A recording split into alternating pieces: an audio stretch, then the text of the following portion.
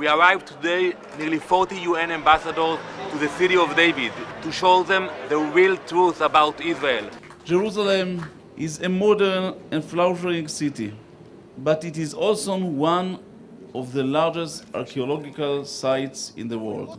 When UNESCO say we have no connection to Jerusalem, kids discover the coins, coins from 2,000 years ago. You can read the date as you showed them.